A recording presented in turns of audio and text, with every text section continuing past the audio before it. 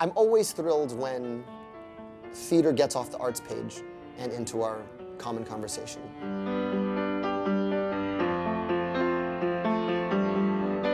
My name is Lin-Manuel Miranda, and I'm a composer and a performer. I basically have the best job in the world because I fall in love for a living. I write musicals, and musicals take a long time to write. So when you have an idea, you really have to fall in love with it.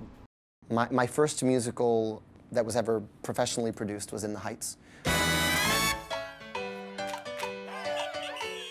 I started writing that when I was 19 years old. It was an 80-minute one-act, which is about my neighborhood growing up in Upper Manhattan. And I wanted it to sound like if you were walking down 10 blocks in Washington Heights.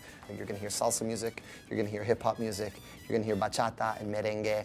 And I wanted it to feel like that and yet tell the story the way my favorite musicals do. Man of La Mancha, Fiddler on the Roof. And so that's what we did. I grew up in a house full of cast albums, and I think I'm like a lot of people who, you know, Broadway was a very special occasion, but we go every few years or so. And every time we went, it was like the world opened up a little bit. On vacation, I went to Mexico uh, and grabbed a biography at random. It was uh, Hamilton by Ron Chernow, and I fell in love again. Even before I put the book down for the first time, I was already crafting the opening number. I'm past patiently waiting, I'm passionately smashing every. With Hamilton, it's a perfect marriage of function and form. Hip hop is uniquely suited to tell his story growing up, orphaned, penniless. Hip hop has the, the energy of revolution, has the energy of struggle, it has the energy of a story like Hamilton's demands. This is a story about America then told by America now.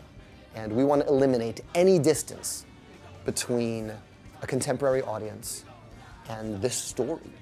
And I think our casting helps with that. Um, they look like our city and they look like our country. And I think that helps us put ourselves in the founder's shoes.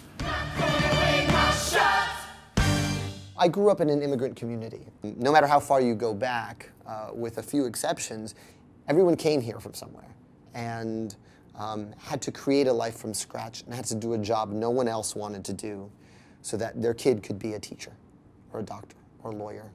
I sort of doubled down on those themes with, with Hamilton, who really came here with nothing but a letter of recommendation and a few dollars in his pocket uh, and his wits.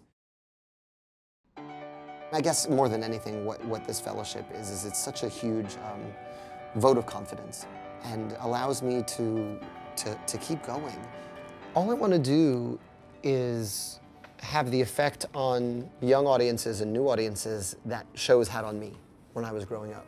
I'd grown up loving musicals, but I didn't know you were allowed to write a musical about your experience. And it can matter and it can be just as vibrant as the ones that are in the canon.